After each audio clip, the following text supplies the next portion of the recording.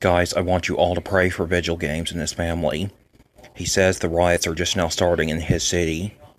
This is getting really, really bad. I hope it doesn't spread anywhere else. But I also hope that, that he's uh, he's going to be okay.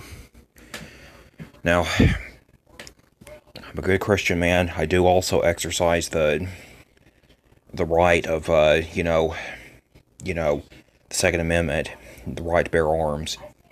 That part of it, yes. Now, I hope that that his uh, his family members are subsequently armed. Because you know the truth is, I really don't want his family harmed. I want them to keep behind their locked doors if they if they have to. You know, I don't want anyone hurt.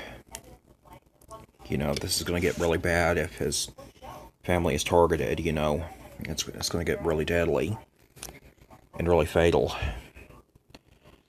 Oh God. Oh God, I'm just really scared. I'm really shaken. You know, sorry about that. Shaken badly, and oh my God.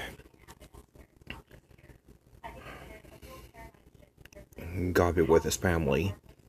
God be with Vigil and his family.